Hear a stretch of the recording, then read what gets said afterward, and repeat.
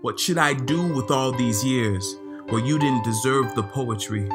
300 days at a time, I kept it all to myself, but it wasn't too quiet. I had my close friends, I had the beach, I had streets in LA for me, and eight hour aliens. In fact, those years were some of the best days.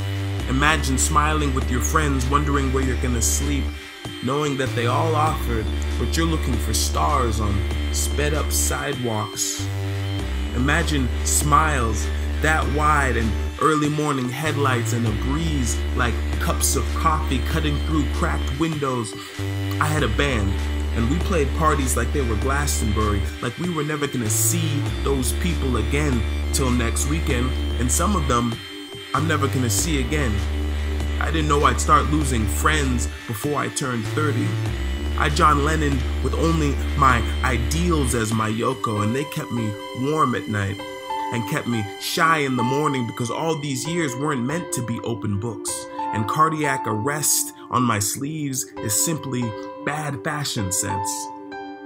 I ended up in so many broken places and made them beautiful. I should have been hurt so worse, but my close calls got bested.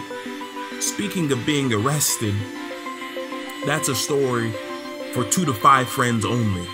It could have been two to five months easily. Two times I had my wings cuffed. Two times I learned my flesh isn't a spirit yet, and there are laws I need to learn to love. And God, you saw me through it all. All the years I said you didn't deserve my poetry. Four months at a time, I kept it all to myself. But you were never too violent. I always had close friends. I had abstract paintings on the beach. I had streets of cities I love and two hour layovers and more road trips than sick days.